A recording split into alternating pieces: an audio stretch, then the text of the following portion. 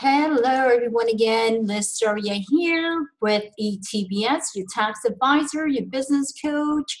And yes, this time we're going to talk about actually real estate, which is my other other dear uh, niche to my heart. Um, uh, I think that uh, real estate is one of those what has made a lot of people very wealthy. Um, and I'm really excited to see that, um, you know, we, we're in a good time. We really are. Um, I, I, really believe that we can do so much um, with just the right investment. Um, so if you're planning to still get into it and you're thinking, hey, uh, Liz, um, is this still a good time to do so? we're almost at the I would say at the end of the first quarter of 2018, I still see a very strong market. Um, that is from my opinion. Um, and I think that uh, beyond that, excuse me, beyond that, I think that for some of you who already uh, what I call, um, uh, you know, experience into the field, um, it's definitely time to continue investing. Um, I think it's a hot market, um, especially for for uh, some of you who are uh, hopefully already at the end of the trend of uh, flipping properties, fixing them, or perhaps becoming a landlord. Boy, it is hot, hot market for landlords right now. It's it's incredible.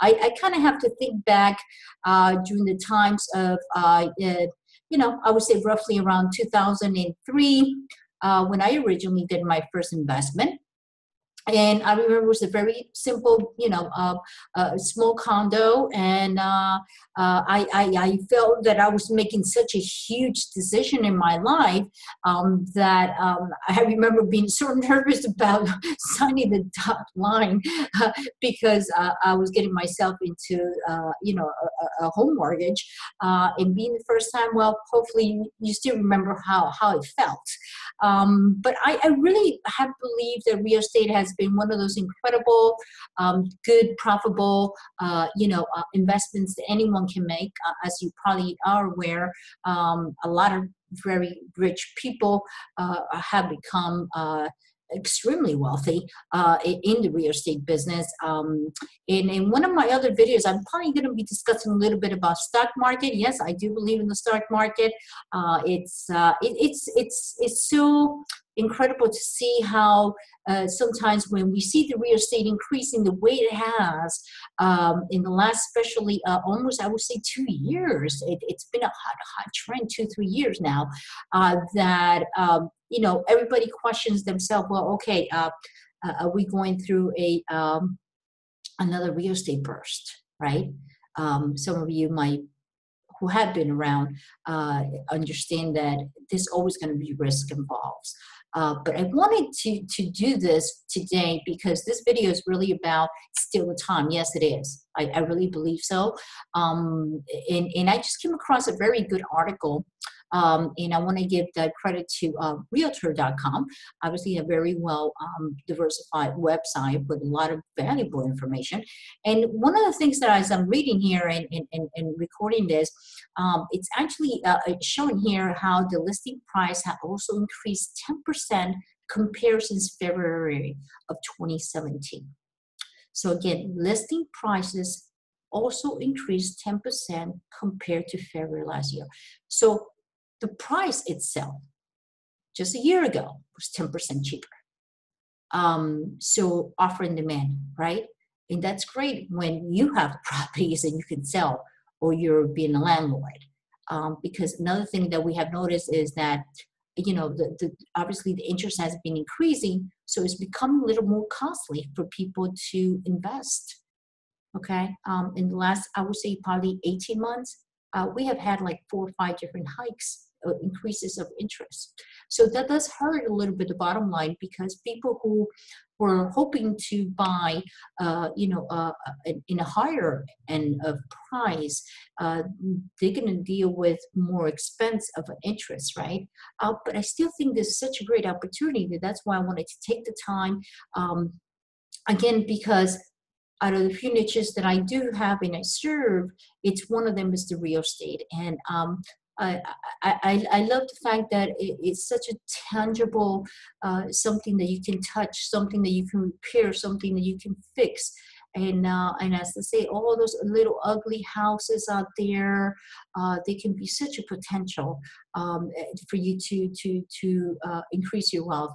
And I think this is the time where a lot of people, I mean, they're not only uh, you know uh, buying but they're actually selling. I think it's, it's I, I personally right now, based on what I'm seeing, uh, even from my home state in Florida, uh, which some of you probably aware, we got hit very, very hard. We were one of the states, same as possibly, um, I was Arizona, right? Um, that we got really hit hard. Uh, Texas was another one. Um, and there's certain states where we suffer a lot. Um, but a lot of people have made a lot of money too. Um, so it's like anything else, right? Pros and cons. Um, so looking through this article, what's interesting about it is that what I'm looking at is how the burst of new constructions and new listing putting larger than expected dent on the inventory. So while few markets are seeing inventory get worse this month, many others have seen listing shortage intensify even further. And that is true. I can tell you as I'm looking around, uh, again, through the South Florida area where I'm still located, I can tell you that, uh, goodness, uh, everywhere, just a few blocks away from where I'm situated, uh, I'm seeing uh, new development, which I didn't see for a few years happening uh, you know, establishing uh, new uh, buildings. And guess what? These are not condominiums. No, they're actually, uh, you know, we, we're looking at uh, what's called a, a, a, a, rental building, a lease. Um, so this is like one of the big trends. I mean, I've seen the rents increase here. Um, I would say in the past two years, any average from I would say mm, easily uh, for a two bedroom uh, an average of two, three hundred dollars. That's a lot of money. That's a lot of money for an average person uh, who, unfortunately, we know that their salaries don't go up accordingly with, uh, you know, uh, the, the rents. And, and, and that's one of the issues that we definitely, especially here in Florida, we have is that people really don't make that much. Uh, you know, it is a reality. Who's making here is the companies. Um, so um, the fact is that you know people are really suffering because uh, these are you know increasing the rents are increasing. Um, the downside with that is which is phenomenal for, for us as landlords and for many of you who are into uh, being landlords because some of you are more um, inclined to just being flippers. I have those kind of customers you know where they just buy a property and within six months to a year they, they rehab it, they fix it, they flip it, and it's gone, right? They make what I call the quick buck.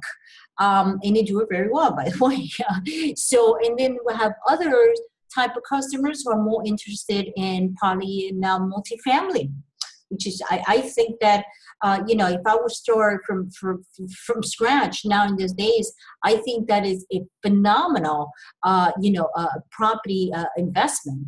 Uh, because it's true with a multifamily, even if it's a small building, let's say you know roughly we're looking at 10 units in the building uh, even if you have a 10 20% of vacancy who cares uh, you still have the rest of the units rented and you're still generating uh, revenue. As we know, if, if the unit's empty, well, it's not really empty to your pocket, is it?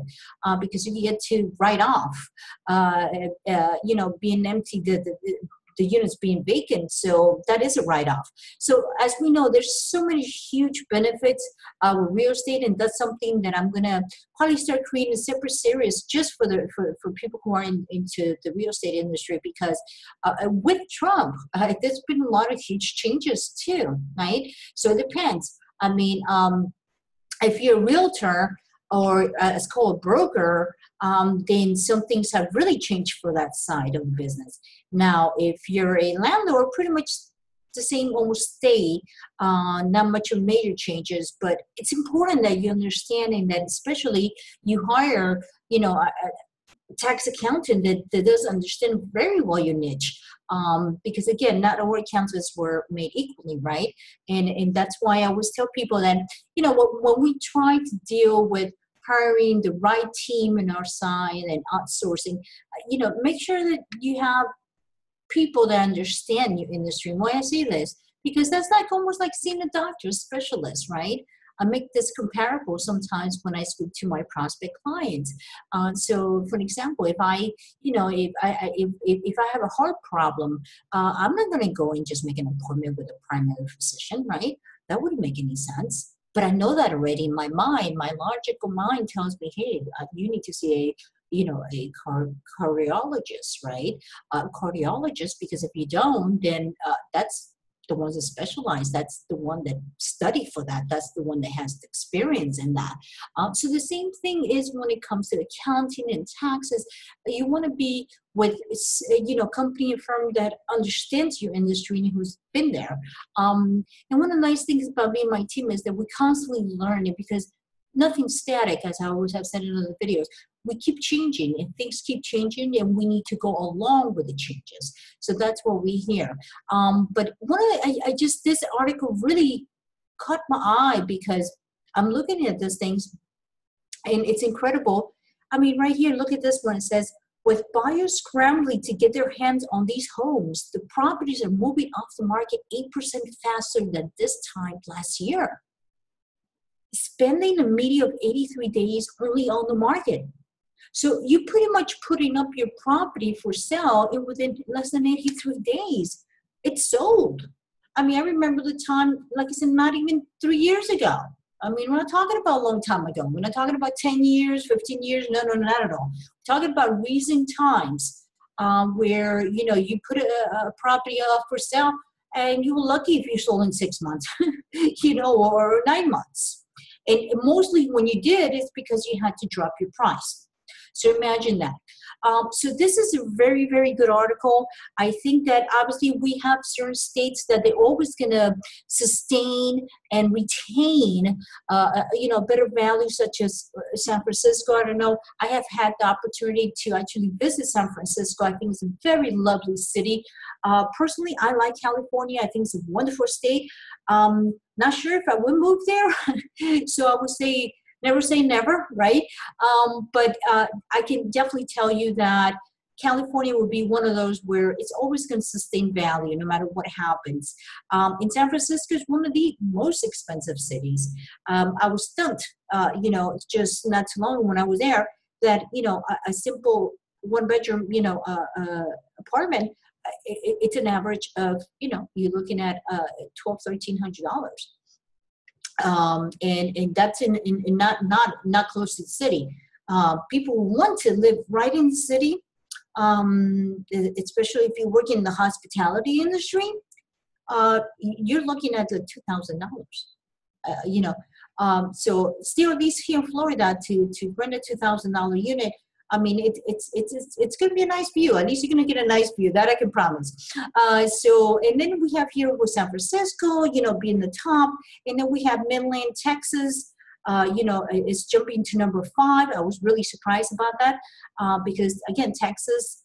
Um, was a state that got really, really, really hit hard, along with Florida um, during, um, you know, the, the burst of, of, the real estate. So it is the time, folks. Look at this. This is the ranking right here. This is really interesting. San Francisco still being number one, uh, Midland, Texas uh, being two, Vallejo, California. As you can see, San Jose, California, Sacramento, California. Denver has done very well. Santa Rosa, California is doing phenomenal.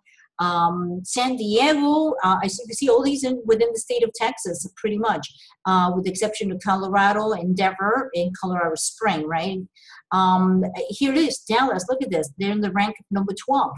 Um, again, Chico, California.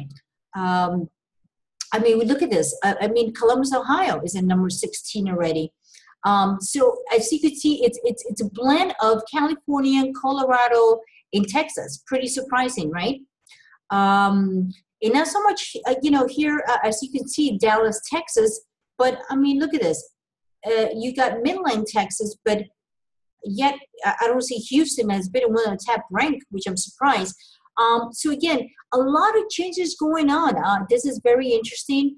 Um, again, this is the time, folks. I mean, time to invest. And like I always diversify, diversify. I always tell this: put a little money into you know real estate. Um, if you're into that side of uh, you know uh, what I call um, you know buying hope uh, in in hold, and that's your strategy, then great. That's how it is. Um, but definitely, you always want to have at least minimum one property. If you can afford to have two or three properties, like I always say, instead of just buying a single condo, and trust me when I tell you this because I've been there and done it, uh, you know, it's better off to buy yourself a duplex. Really, get yourself a duplex. Live in one side, in the other side, go ahead and, and rent it out. Mm-hmm.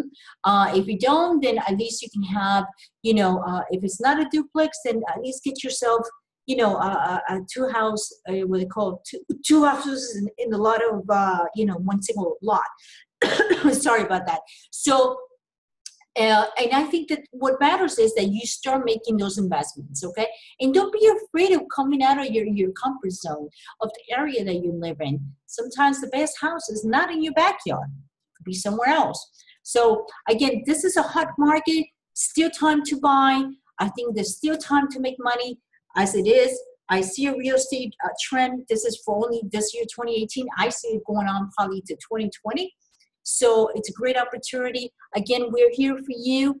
You need help, you need assistance. Uh, please contact us. Uh, again, my name is Liz Soria here with etbsfl.com.